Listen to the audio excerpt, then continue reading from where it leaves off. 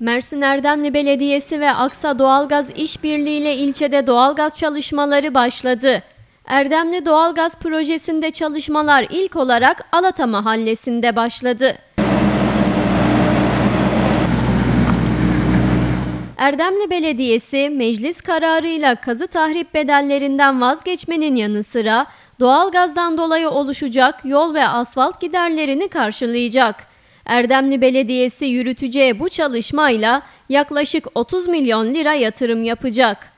Erdemli Belediyesi ve Aksa Doğalgaz İşbirliği'nde yürütülen projenin birinci etabında bu yıl 24 kilometre şebeke montaj yapılarak kış ayı öncesinde merkez mahallelerinde 4600 konuta doğalgaz verilmesi planlanıyor.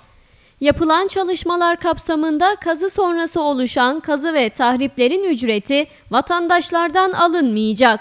Vatandaşın önceliğine ve ihtiyacına göre planlamalar yaptıklarını ve bunları bir bir hayata geçirdiklerini vurgulayan Erdemli Belediye Başkanı Mükerrem Tollu, amaçlarının vatandaşa gelecek maddi külfeti Erdemli Belediyesi olarak üstlenmek olduğundan bahsetti. Bu kentte yaşayan insanlarımızın e, birinci önceliği olan doğal gazımızın temeline başladık.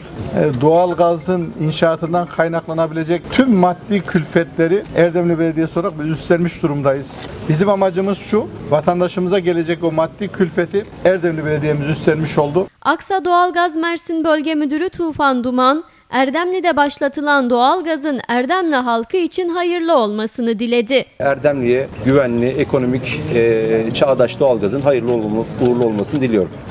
Öte yandan doğalgaz başvurusu ve bilgi almak isteyenler Erdemli Belediyesi Basın Yayın ve Halkla İlişkiler Müdürlüğü'nde oluşturulan Aksa Doğalgaz Masası'na başvurabiliyor.